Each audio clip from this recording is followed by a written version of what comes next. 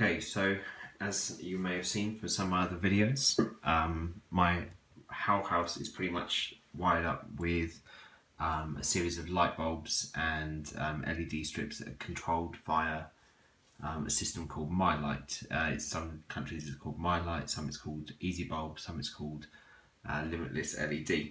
So this is the piece of equipment that connects to the light bulbs. So let's just uh, focus on that. So what it is, is um, this connects to your network. Um, it's powered via a micro USB. There's just a reset hole there. And um, what it does is it connects wirelessly to your network and then uh, when it receives a series of UDP packets, it will um, communicate with the the individual light bulbs over a different frequency and turn them on, off, change their color or brightness. Now, that would be all well and good, but these things are flaky as hell. They're, um, you know, Chinese made or something, and they, they just don't work very well. They're very, very touchy about staying on the network. So, um, what I have currently, um, this is a spare one I've got here. Um, my my main one is powered. Um, it's just 5.5 volts, so I've got my Arduino powering it, and um, a Wi-Fi shield on the Arduino. It pings this device here whenever it, it stops um, responding to a ping, um, the Arduino cuts the power and then reapplies the power again um, using a uh, MOSFET. so it essentially resets the bridge. So the the issue of it dropping off the network isn't solved as such, but it means that I don't have to manually restart it. Um, I'm looking to fix that. So I found through Twitter, I was speaking to someone. I've got an app called Home Remote that controls all these. And I was speaking to a guy um, who uses my app, and he was saying about how his uh, wireless bridge is also flaky, and that he'd seen someone essentially take out the wireless hardware from this and go via a Raspberry Pi, either connected to um, Ethernet or via Wi Fi itself. So I'm probably going to go Ethernet because. Uh, the less there is to go wrong, the better, really. So um, there's a web page. I'm going to link to it. Um, it will just be uh, there'll be like a URL or something along here.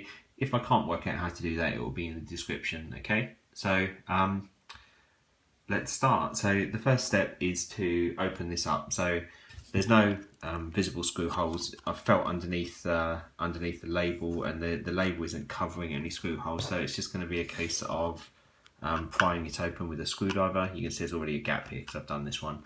Um, you just push the screwdriver into the gap and lift it up and you'll see there's just like some friction friction lock in there to stop it um, to stop it popping out. So it, it's now popped past the friction lock point and you can just get the screwdriver in and open it up. Now you'll see there's actually very, very little in here. So obviously just piece of plastic, we'll get rid of that. On the other side of this, we can get rid of that, that's dead now. So what we have here is um, a circuit board, obviously, and nothing on that side. So um, what we've got is you've got your micro USB connector here, the reset switch is here. I'm not very uh, technological from an electrical point of view. So, um, excuse my my very basic descriptions here. Now, this here is the Wi-Fi module. Let's just focus in on that. Um, there's nothing visibly to give it away, but I've seen from the page that I will have linked to earlier or that's in the description that this is the Wi-Fi module. So we essentially need to remove this device from this main board here. So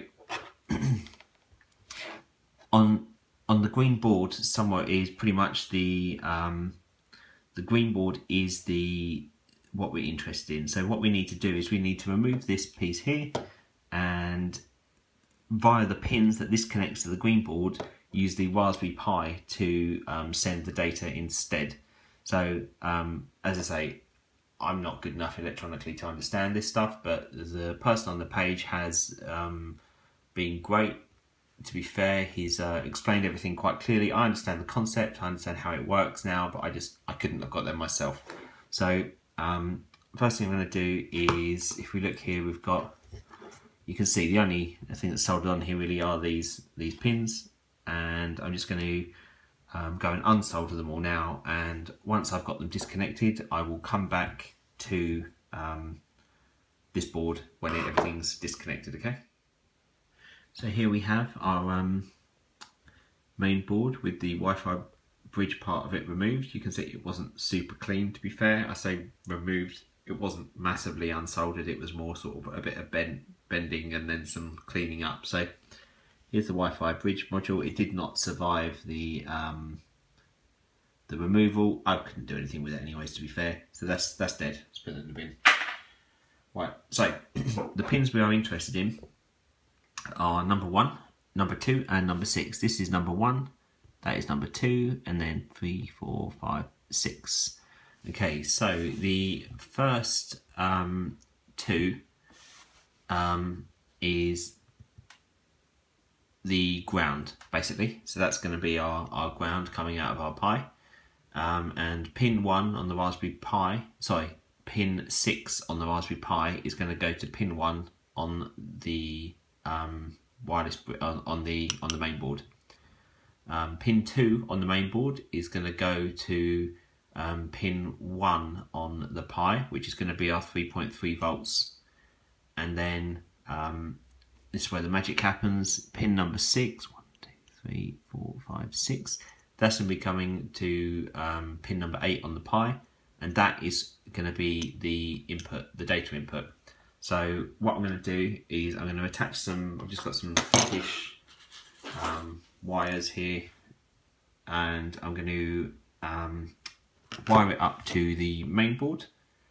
So I'm going to be using obviously um, I've only got blue, red and yellow, so I'm going to be doing blue to ground on pin 1, red to um, the 3.3 volts on pin 2, and then yellow to pin 6. Um, and then I will show you what's going on with the Raspberry Pi. Okay, so here we have our cables now connected to pins number 1, number 2 and number 6. So what we're going to do, we're now going to move over to the Raspberry Pi. Here it is, it's a great machine, it's absolutely fantastic. So um, the pins we were interested in, I think were 1, two, uh, sorry, 1, 6 and 8. So um, you might just be able to see here, this one here, this is pin 1. And it goes 1, 2, 3, 4, five, six, seven, eight. So we're interested in number one, number six, and number eight. So I don't have any sort of header connectors or anything at the moment, and this is going to be like my one-time use for the Raspberry Pi here. So what I'm going to do, I'm actually going to solder my cables directly to the pins. Um, I really wouldn't recommend that, to be fair. You know, um, you want to be able to use your Raspberry Pi for other stuff. And I, I can always unsolder it. It's not going to be the end of the world. But um, just for the purposes of getting this running tonight, while I've got some time, I'm going to be soldering it direct to um, the board. So I'm going to do that now, and then I'll come back and we'll discuss uh, the software that's running on it. Okay, so here's our fully assembled, um, say fully assembled, roughly fully assembled um, setup. So what we're going to do now is on the page I linked to earlier, um, I'll link to it again just up here um, or in the description if I can't work out how to do that. Um, it's going to be a few Python scripts that we need to run. So for it to show up essentially as, um, you know, to have, to be able to receive the, the correct, um, to handle the UDP packets and, and perform the correct procedure, um, sending data down into this. So I'm just going to use a standard, um, I'm really bad with my Raspberry Pi stuff, just whatever setup you fancy is the one I'm going to, I'm going to just be using the basic stuff it comes with and then just running the Python scripts on that. So um, I'm going to mess around with the software now on the Raspberry Pi and give it a little test and once I've got it up and running I'll come back and explain um, what I found out. Okay so this is um, so my monitor is currently like picture in picture so um, the Raspberry Pi is output into HDMI in the top right of the image. Um, you can see the Milight images there, uh, the Milight LED strips there and there. Um, so I'm actually just got to download and install um, Raspbian to the Raspberry Pi here, which is all hooked up. It's all mess of cables and crappy keyboards. But um, there you go. That's that's the setup at the moment. Um, one thing I would say, when I was soldering, it helped to uh, tin the wires first. Um, it just means applying a little bit of solder to each each wire and then touching on. And if you do ever get like a need a helping hand, these little guys here, it's got like a magnifying glass on it, so you can whoa, see through. Um, and they hold the circuit boards for you and stuff, which is is really good. So I'm going to um, come back to you once the Raspberry Pi is up and running, and I'll see you in a minute. So something really interesting just happened. Um, the Raspberry Pi just booted up for the first time. You can see it there, and um, my light here went off, and the lights in the living room just went blue. And that's because the Raspberry Pi dumps its console to the um, pin number eight.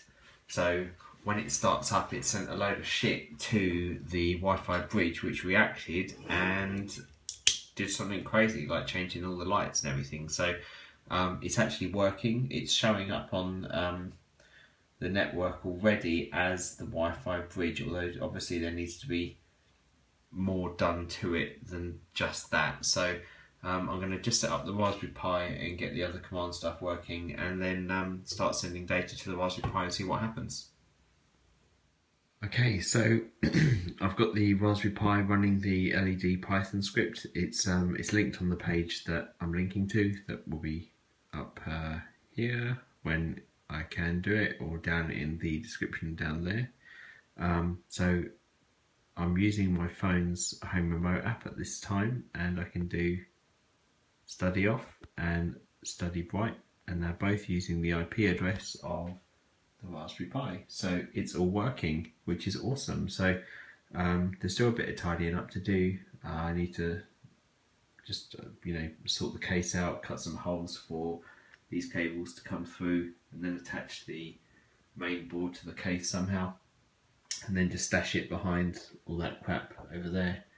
Um, Iron Man so yeah, you know, it's all worked. I'm pretty pleased. It means that I'm going to have some flawless Milight connectivity and I can start getting my network back to normal because, uh, you know, my Apple TV always kicked this thing off. So I can start just having everything always on, which would be awesome. Um, I hope you enjoyed the video. I hope it helps some people. Um, always check out Home Remote app as well. It allows you to do some amazing things with Milight around your home. Um, it's got iBeacon support, so you can turn lights on and off as you enter rooms. And um, I hope you enjoyed it. Cheers, bye.